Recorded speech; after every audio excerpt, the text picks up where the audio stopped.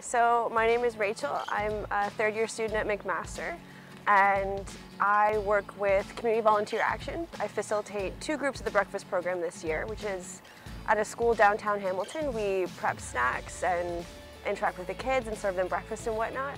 And I think it's a great program. I love every minute of it. Mostly I do it because of the kids.